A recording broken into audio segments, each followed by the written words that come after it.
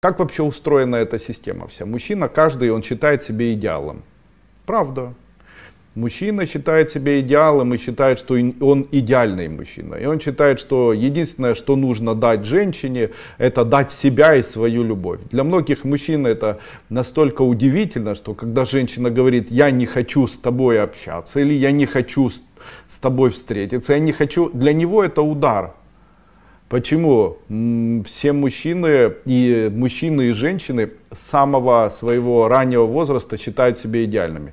Женщины при этом могут себя угнетать. У мужчин культ личности растет, он у них может очень длительно, у некоторых прекращается после 30, у некоторых не прекращается.